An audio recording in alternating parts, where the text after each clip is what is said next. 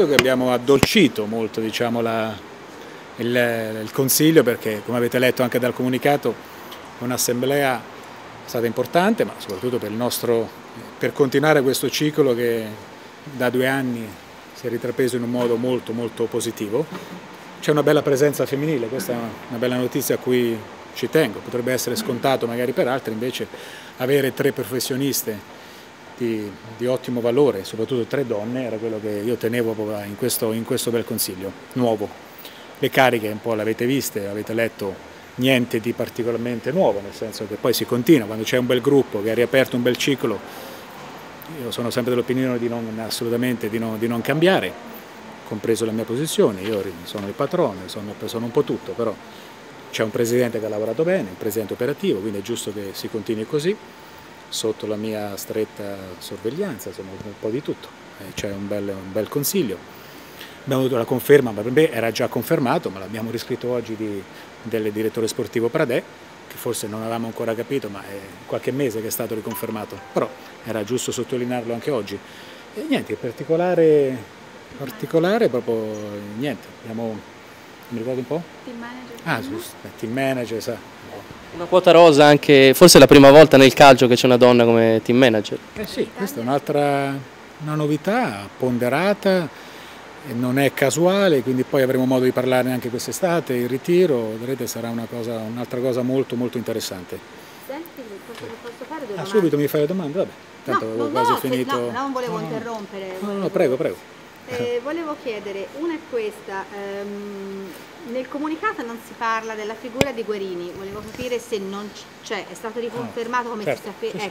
Eh, Guerino è lo staff tecnico, eh. è lo staff tecnico di Montella, quindi poi, ripeto, quando inizierà, quando rinizierà anche le, il, il, ritiro avremo modo di riparlare tutti, sì, sì, come no, Guerrini è parte, è parte della famiglia, lo è, lo è stato anche in momenti difficili, ci è stato vicino ed è stato molto importante anche in momenti personalmente difficili anche da parte mia, delicati, non difficili, che voi ben ricordate di qualche anno fa, quindi io lo ritengo uno, uno stretto collaboratore della, de, della Fiorentina.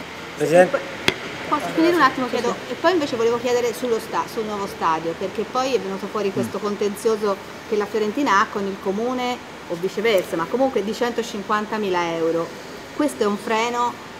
Come no, pensate? Questa di... è una cosa che ci chiede, guarda, in questo mese è un mese importante che poi ci dovremo ufficialmente incontrare con il nuovo sindaco proprio per parlare, per parlare ah, del nuovo stadio. Questo mese? Cioè, sì, sì, sì, entro ah, luglio dovremo proprio ecco. confrontarci in un modo ufficiale, quindi lo, ve lo dico anche questa sera. E poi chiariremo anche questa, questa cosa che è rimasta un po' sospesa da qualche, da qualche anno. Immagino si sia parlato anche un po' di mercato, volevo capire in relazione alla situazione di Quadrado, la Fiorentina al momento come si pone e soprattutto se accetterebbe, se ascolta comunque eventuali offerte che arrivano per il giocatore. Guarda, la situazione di Quadrado, per chi mi conosce sa come ho gestito in passato tante altre situazioni come queste, perché sembra che ogni anno ne abbiamo sempre una. Quello che vi posso promettere, che posso promettere a tutti, è che farò il possibile è un caso difficile, non nascondo, sono il primo a non nasconderlo, è un caso difficile però l'esperienza che abbiamo eh, mi, fa, mi, fa, pensare insomma, che po, potrei, posso anche gestirlo in un modo insomma, per cercare di trattenerlo a Firenze, che è il mio primo obiettivo.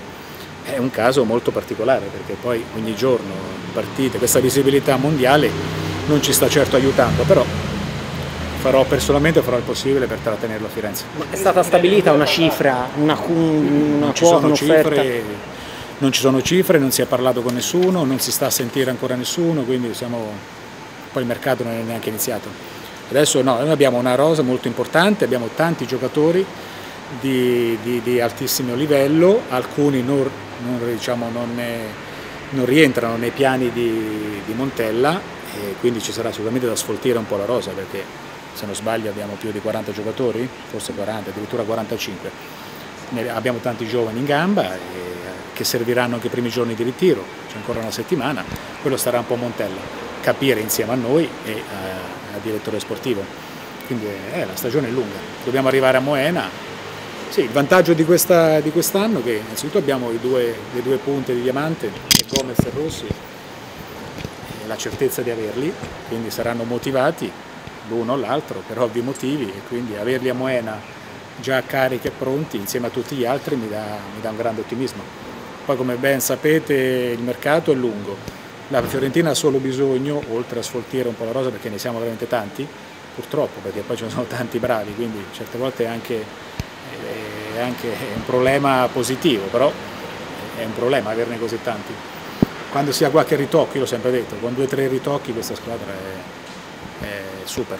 Presidente, le volevo chiedere, visto che la Fiorentina dà un grande segnale stasera, è la prima ad avere alcune figure femminili nel CDA come team manager, le chiedo un momento sul calcio italiano, una sua riflessione, visto che si è dimesso il presidente federale Abete, fra l'altro una figura a cui la famiglia della Valle è anche legata. Che idea si è fatta sull'eliminazione della nazionale e sul futuro del calcio italiano? Ah, mi dispiace per Abete perché è un, è un professionista serio, da tanti anni che ha dato tanto al calcio italiano e conoscendolo è una persona molto seria, come lo è Prandelli, però quando si fallisce un progetto così, in un modo eh, così forte, eh, io credo che sia stato anche doveroso e anche da rispettare per quello che ha fatto Adete, insomma ha avuto anche il coraggio di, di, di farlo.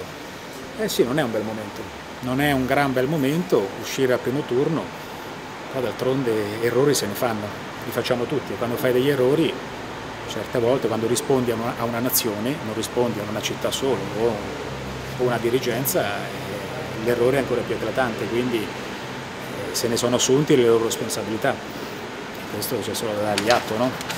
quando si paga eh, bisogna, quando si, si, sbaglia bisogna pagare. Ci sono novità scusi sui rinnovi di Pizzarro e di Aquilani?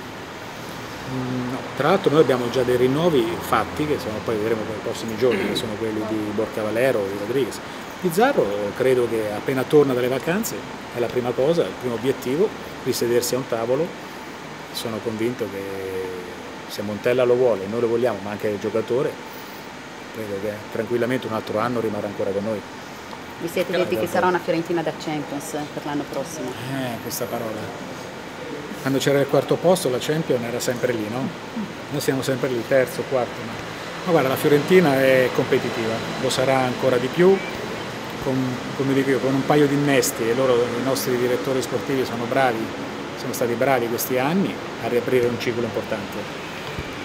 Poi il nostro obiettivo è sempre quello, tra le prime sei e poi vediamo un po' il mercato, però eh, non, non, nascondo che dobbiamo rimanere sempre in queste posizioni qui, eh, anche se è sempre difficile, perché poi non, non, tutti gli anni ti può capitare il Milan che, il Milan che magari fallisce la stagione o l'Inter, però essere ritornata sempre, eh, soprattutto non fare neanche preliminari di UEFA è stato un grande obiettivo.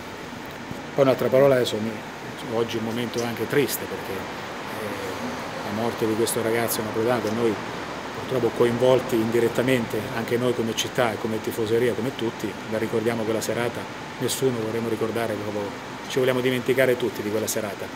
Evidentemente bisogna, stiamo, cioè, siamo molto vicini alla famiglia in un momento veramente brutto, anche quello per il calcio. Però eh, dobbiamo anche un attimino, lo so che adesso tutti, sentito questi giorni, sembra quasi un po'...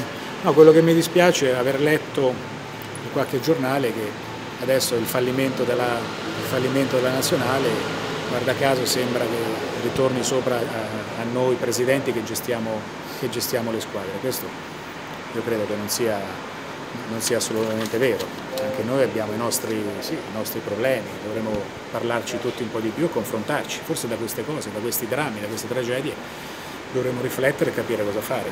Però che, le, che, le, che la mancanza di vivai, cosa che poi tante società come mie non, lo, non è vero, ma che tutto questo adesso, come hanno detto alcuni, sembra quasi che poi ritorni sempre sul calcio italiano, mi sembra un po' eccessivo. No? In fin dei conti sono tre partite che sono state due partite giocate male e poi dopo l'Inghilterra bisogna essere tutti e avere un po' più di coerenza. No?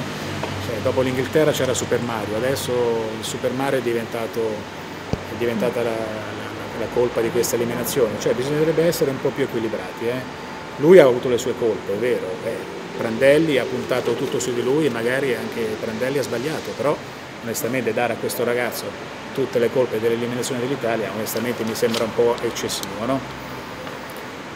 Poi ripeto, adesso pensiamo un po' alla Fiorentina, che cosa realmente possiamo costruire ancora di più ambizioso per la nostra città l'entusiasmo ce n'è, l'euforia c'è, la voglia, la voglia ne, ho, ne abbiamo tutti ancora tanta, io in primis, quindi c'è soltanto da ben sperare. No? Prima acquisto è imminente? Gli acquisti non te li posso dire, non te li posso dire, adesso torno su. Sono le vacanze? È venuto anche Eugenio Gianni, lui come membro esterno, però invitato permanente, sarà sempre partecipe anche ai nostri consigli, perché anche Gianni è una persona che ha, è un po' la storia dalla Florenzia Viola, quindi una persona di, di grande spessore che, che, è anche lui nella famiglia della, della Fiorentina. Poi tutto il resto, insomma, le prossime settimane, settimana prossima si ricomincia, quindi le vacanze stanno, queste lunghe vacanze stanno per finire. L'ultimo abbraccio lo de, me lo sento di dare alla famiglia di, di questo ragazzo napoletano, onestamente tutti, quello siamo tutti, siamo tutti vicini.